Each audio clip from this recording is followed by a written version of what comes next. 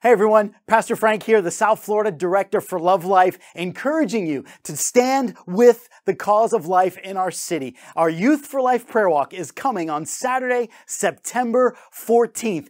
Youth groups and young adults from all three counties will be joining Love Life to pray, walk, and sing for the cause of life in our city. So we encourage you to come out on this exciting day to see what it looks like for young adults and youth in our city to love God and to love people. Love Life is united and mobilizing the church to create a culture of love and life that we believe will result to the end of the abortion crisis and the orphan crisis in our city and in our nation. And Saturday, September 14th, the young adults from South Florida will be coming out to pray, to sing, and to worship. Find out more information on lovelife.org or on our social media page, lovelife underscore South Florida.